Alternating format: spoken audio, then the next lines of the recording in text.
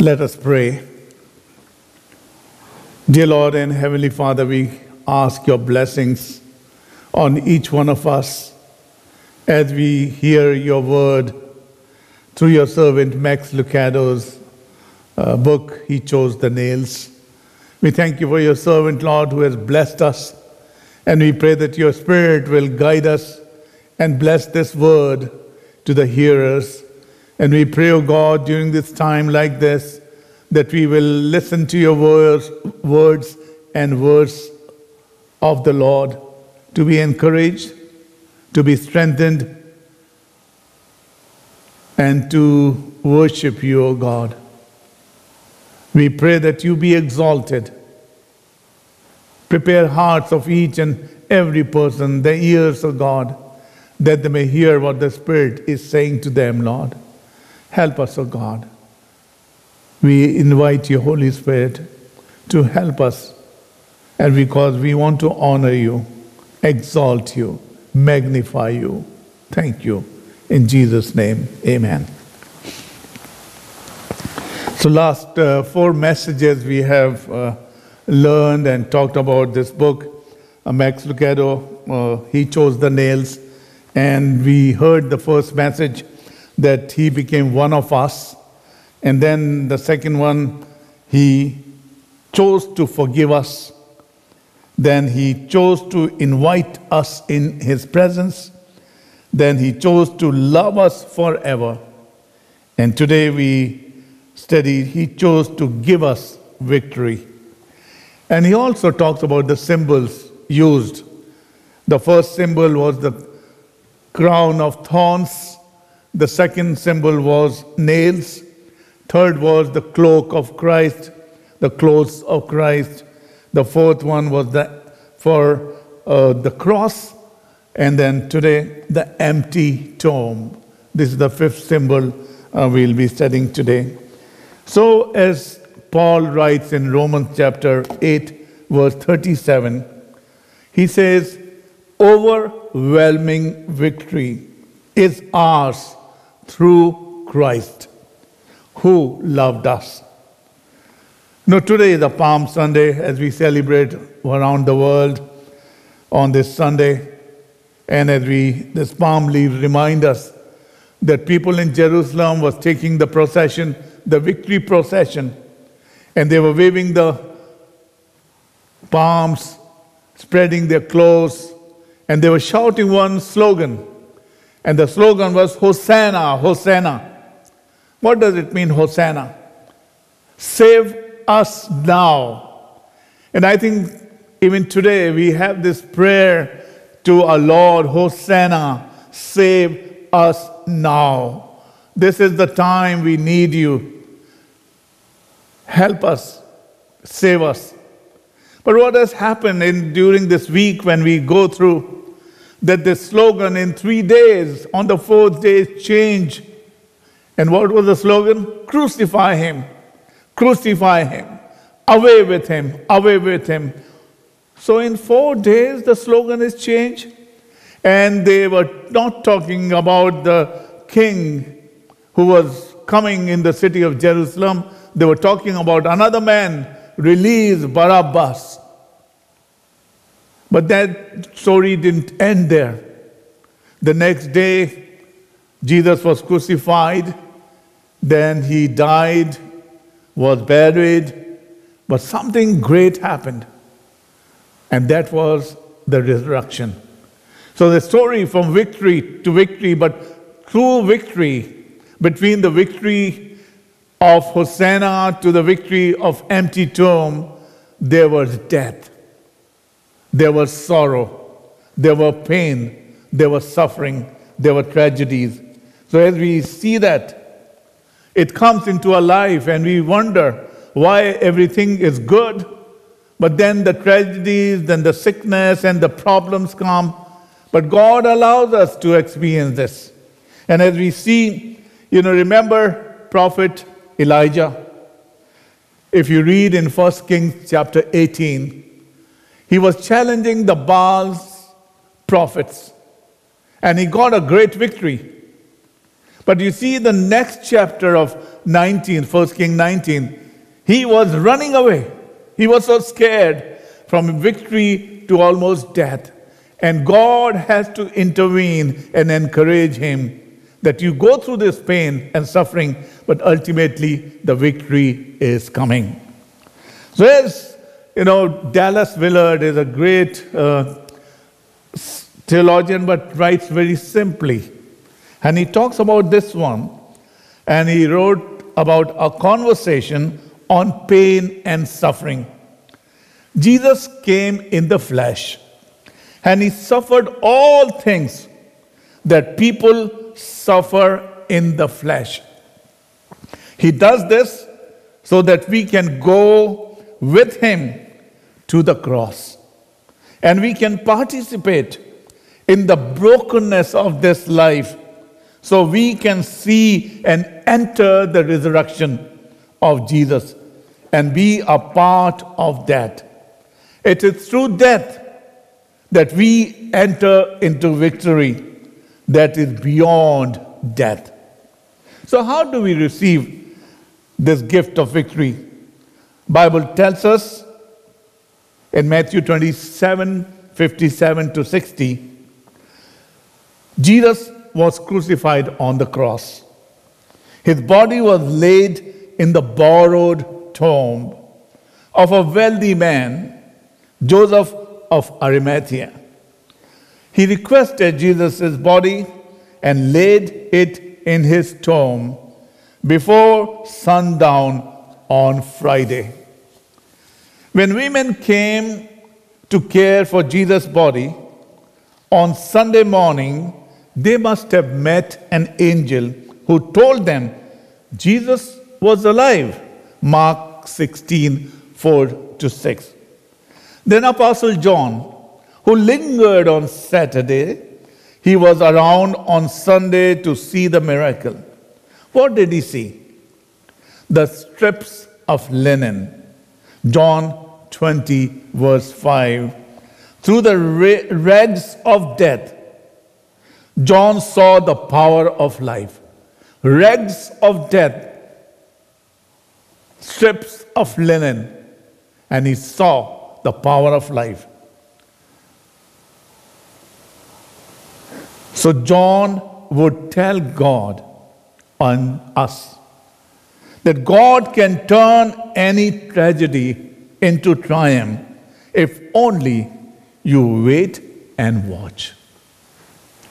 The disciples, John and Peter, on hearing the women's report, ran to the empty tomb, John 26, 3 to 7. The folded grave clothes they saw suggest the tomb has not been robbed. Max Lucado writes Through the rags of death, John saw the power of life, and John saw and believed. John 20, verse 18 NIV. He saw the linen, folded clothes, and he believed that Jesus is alive. Just before Jesus died, he asked for something to drink. He was on the cross. He refused myrrh and gall. He refused to be stupefied by the drugs, opting instead to feel the full to feel the full force of his suffering. Why? Because he knew we would face pain. If not the pain of the body, the pain of the soul. He knew he would face thirst, if not a thirst of water, at least thirst for truth. Receiving the gift of victory, the paschal mystery. Paschal is a Greek word for Passover. The Jewish remembrance of when the angel of death passed over the Hebrew families prior to their exodus from slavery of Egypt. And this you read in Exodus chapter 12, to verse 13 and 23. The lamb sacrificed and eaten at Jewish Passover celebration was the paschal lamb. a term the New Testament writes, you, writers use for Christ. John 1.29, he said, when Jesus was coming, he said, Behold the Lamb of God who took away the sins of the world. And also in 1 Corinthians 5 7. This plan of salvation was revealed in Christ's death, burial, and resurrection. Christ died for our sins, just as the scripture said. He was buried and he was raised from the dead on the third day, just as the scripture said. 1 Corinthians chapter 15, verse 3 and 4 in New Living Translation. The Paschal mystery is also understood as a recurring pattern of God's transforming work in our lives. That some form of death always precedes new life. That death never has the last word. Speaking of life that would follow his own death, Jesus said to his disciple, I tell you the truth, unless a kernel of wheat is planted in the soil and dies, it remains alone, but its death will produce many new kernels, are plentiful of new life. John 12, verse 24. For a seed, there is a life on both sides of death, or in that case, planting. But each life is a, of different kind. What three words or phrases would you use to describe the life that follows death? We as human experience some form of death, a tragedy, a personal struggle, a choice to deny ourselves, etc. Think about the same set of three words before and after. Eugene Peterson, author and pastor, on God's Paschal Lamb wrote, All sufferings, all pain, all emptiness, all disappointments is seed. Sow it in God's, and He will finally bring a crop of joy from it. If you think of hardships and the losses of this life as seeds, we have at least three options. What we can do with the three options? Number one, we can cling to our seeds and refuse to sow them. We can sow our seeds in God, or we can sow a seed in something other than God. How will you do? Are you more likely to cling to life as it is? Surrender yourself to God in faith, or try yourself in distractions of self defeating behavior. Max shared the story of Rafael Rosales. He was a minister in El Salvador. The Salvadorian guerrillas, viewing him as an enemy, left him to die in a burning car. Rafael escaped the car and the country but could not escape the memories. The scars left on his body that he saw in the mirror reminded him of his tormentor's cruelty. But one day the Lord spoke to Rafael's heart and said, They did the same to me. As God began to minister to Rafael, he began to see scars not as a reminder of his pain, but as a picture of Jesus' sacrifice. Raphael returned to El Salvador to start a new church. Victory is when we experience some form of death in our life. Speaking of Jesus' empty grave and folded clothes, Max said, God took a token of tragedy and turned it into a symbol of triumph. We all face tragedies. Let us see what Paul writes to Romans. And we know that God causes everything to work together, the good of those who love God and called according to his purposes. For them, can anything ever separate us from Christ's love? Does it mean he no longer loves us if we have trouble or calamity, or are persecuted or hungry, or destitute or in danger, or threatened with death? As we talk about the coronavirus, how many people have died? The fear of death is gripping, and that's what the message is for us. We should not have fear of death because all things work together for good for those who love God. And then he says, No, despite all these things, overwhelming victory is ours through Christ who loved us. Romans 8, verse 28, 35, and 37. This word overwhelming victory is a common compound of two Greek word hyper and nikao. Nikao means to be victorious and hyper is an intensifier of whatever it precedes. Overwhelming victory, hyper nikao, is through Christ who loved us.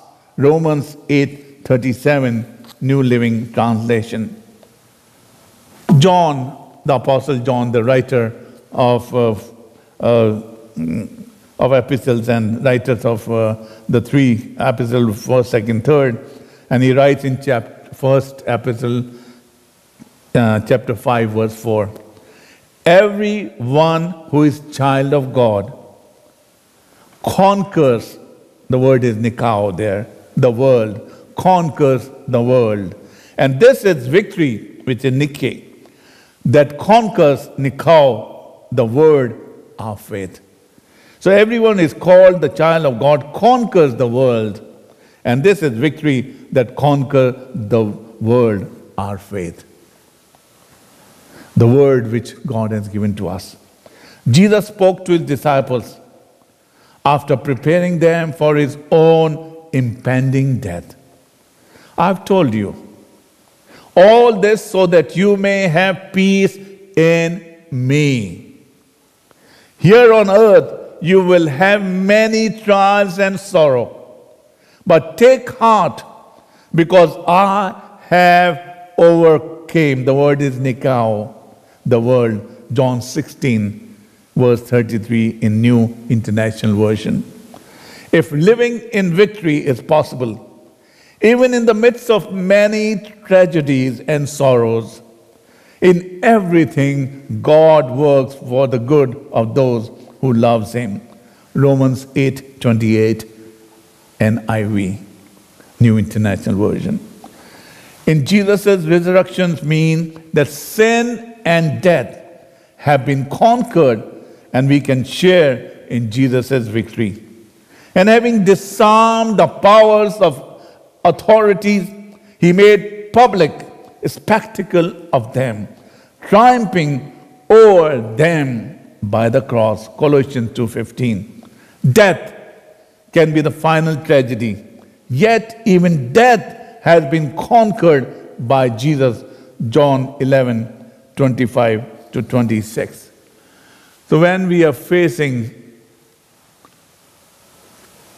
good things, on Sunday, the hosannas, the victory that everybody is appreciating, everybody is applauding, it turns to tragedies in few days. And we wonder why it has happened to us. So Jesus is showing us the way. Wait. You need to experience these tragedies, even death. in order to see the life. He takes us to victory procession. And he said, Have my peace. Peace I give to you, not as the world gives. Because peace is established by going to the cross between God and us. And he overcome death, he overcome world, he's overcome pain, he overcome tragedies, he overcome all hunger and everything and came victorious. He's encouraging his disciples. Take heart. This will come to you. But wait and watch. Have faith in God. Sow your troubles, sow your sorrows, sow your sickness in God. And then you see, you'll raise and you'll rise. Let us pray. Dear Lord, we thank you. The empty tomb, the clothes folded, has shown the power of life.